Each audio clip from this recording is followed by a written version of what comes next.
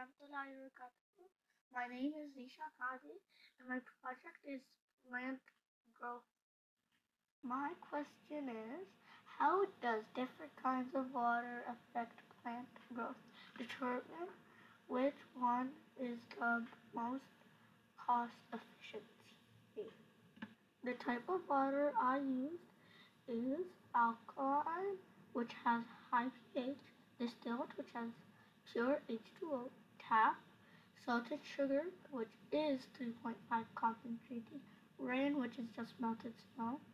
And my hypothesis is the rain is going to be the fastest and uh, the tallest because Mother Nature knows best for plants. These are the materials I used.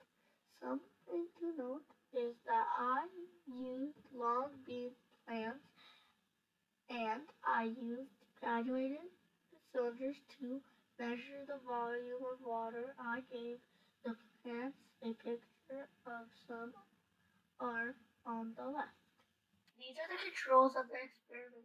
You can pause the video and read them if you want. I controlled them because they can affect the plant growth and I want to make sure that the type of water is the only thing affecting the plant growth. These are the variables. The independent variable is the one I controlled, which is the type of water.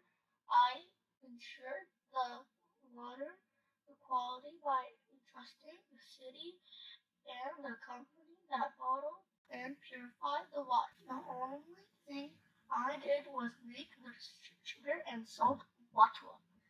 The dependent variable is the one I measured, which is plant growth rate, which I measured with a ruler. The procedure is very simple. I put the soil into the cups up to the middle line on the cup.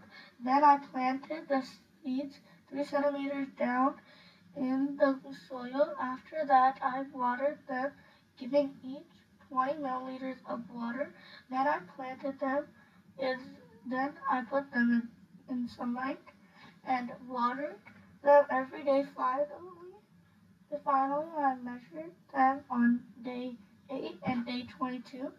I have five trials of each type of water so that I could, could have the average amount of plant growth. These are some pictures of the process. These are the results of my experiment. Here we can see the final height of the plants. Rain grew the most out of all of them.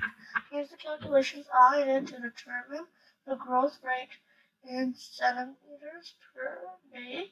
From this graph, we can see that rain grew the fastest, alkaline and distilled were similar, followed by tap and sugar, and salt had no growth. Here is a ranking of the most growth and most cost efficiency. As we can see, rain is the best overall because it grew the most and it is free. The others in, in the cost effective section were done based on, on how much they costed and their growth, with tap number two followed by distilled sugar alkaline because they cost more to get and bottom salt because it, it was not effective at all. The science behind the results, rain was the most effective because it had minerals and nutrients that were carried by the nutrient cycles, cycle which helped the plant, plant and microorganisms that help the plant grow. For alkaline water, the the microorganisms that help the plant are not sensitive to the higher pH of alkaline water, and some actually benefit, so it did not affect the plant growth that much. The sugar water plant don't need sugar for photosynthesis, so it was just reducing how much water the plant actually got, causing the plant to grow less. And fluoride are present in tap water from water treatment. They, act as dis, dis, disinfectant and kills little microorganisms that plants need to, to recycle nutrients to grow, so they did not grow as much. The still water has no minerals or nutrients to help the plant and the microorganisms, so the plant grew less and smaller. Salt water had no growth because the salt held the water captive, such that the plant could not use the water for photosynthesis, therefore it could not grow. Here are my resources. Thank you for listening. Now,